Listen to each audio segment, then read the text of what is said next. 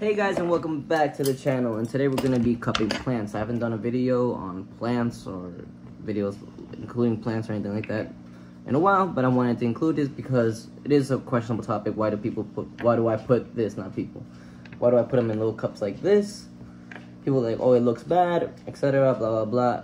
I don't care personally the way it looks. It's on our show tanks. These are just so I can easily transport them out in and out of tanks if I want to move them without having this this this like I can't speak, um, disrupt the roots from growing. Anyway, I'm gonna be cupping this plant today and putting it in here so I can place it into my 10 gallon tank.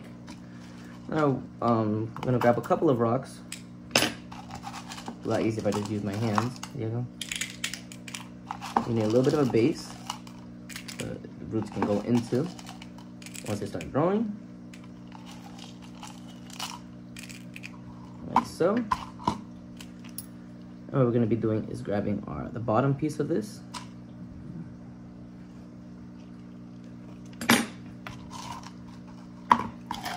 Actually just grab a little bit of rocks and place it around the stem.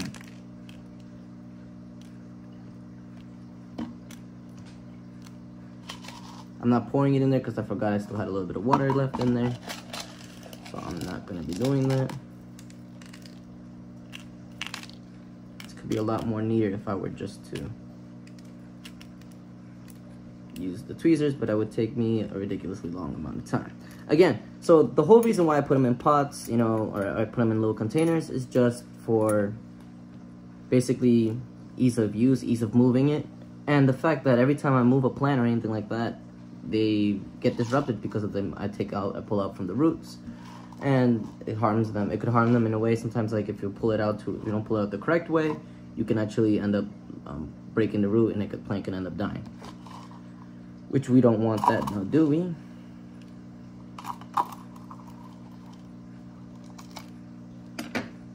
It would have been a lot easier if I just removed all the water and then just poured it in there, but you know me, I don't like easy.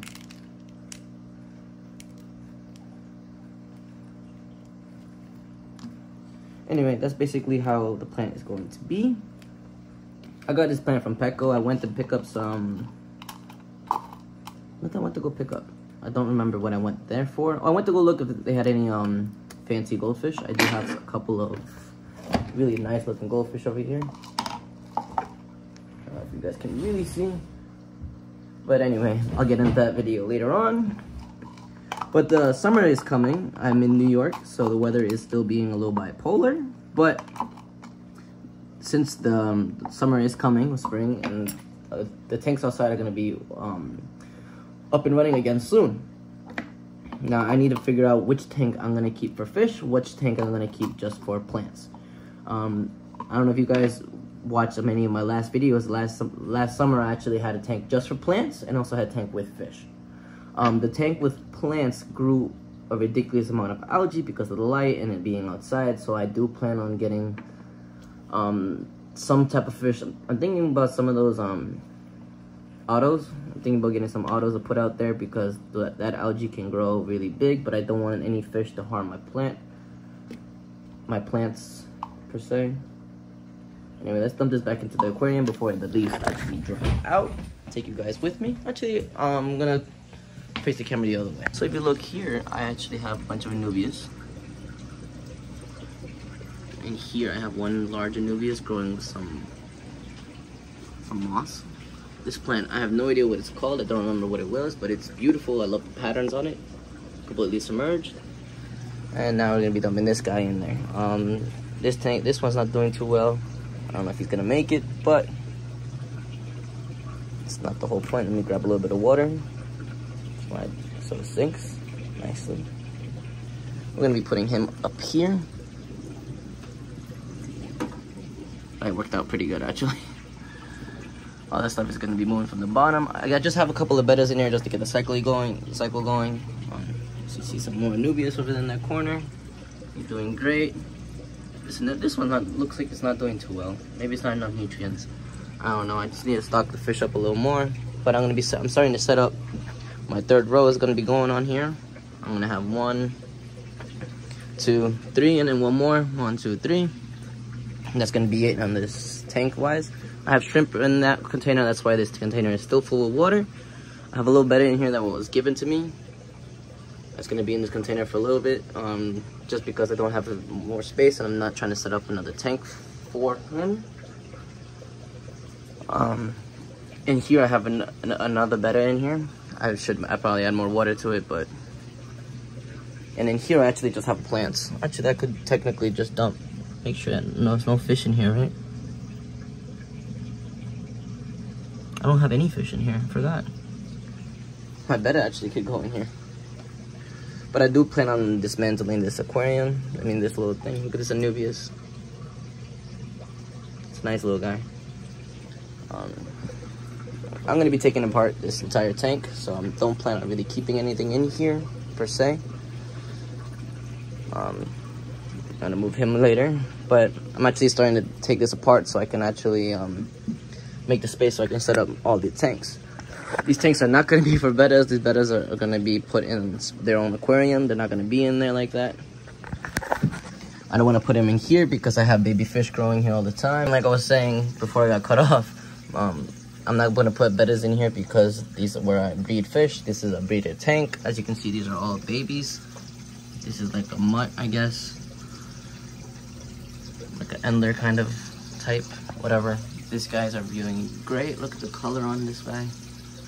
I do have baby fish in here. Um, let me see if I can spot it. I have baby fish and shrimp in here. You guys can see him in the background. Let me zoom in a little bit. There he is. Anyway, um, and down here I have plecos. These guys are ready to be released. These guys are growing. I already moved some of them. I switched them from which one side to the other.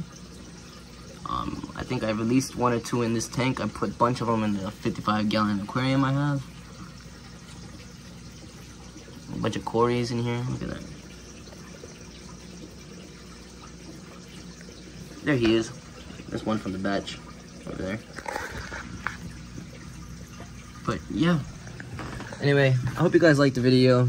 Um, it's not really a crazy cool video. All these plants are going to be coming out though. I've done, I have realized that I do not want to keep any plants in this system during the summer. During the summer, I'm getting rid of all these plants. These plants are going to be going into tank outside depending on which one I want to use. Oh, I forgot to ask you guys. Maybe you guys can help me out here. I'm debating right now in between using um, using the 75 gallon bow front tank for plants or should I use the 125 gallon long aquarium for plants? One of them is going to be for fish, one of them is going to be for plants. I'm kind of wanting the 125 for fish so I can have a large, large variety of fish. But you guys should definitely let me know down in the comments below. As you can see, I use my cupping method everywhere. These plants where did the plant go for these guys? There he is. Anyway, I have all my plants in cups, easy to move out. All these plants are going to be going back outside once um, the weather permits. Look at that guy. I even put that big, huge plant in a cup. Anyway, guys, I hope you guys liked the video. Definitely smash that like button if you did. Drop any questions you guys have down below. If you guys want to see anything particular, let me know down in the comments below. And don't forget to subscribe so you guys don't miss out on any, um, so you guys can see further videos. And definitely hit the notification bell so you guys don't miss out on any of the cool videos I'm posting.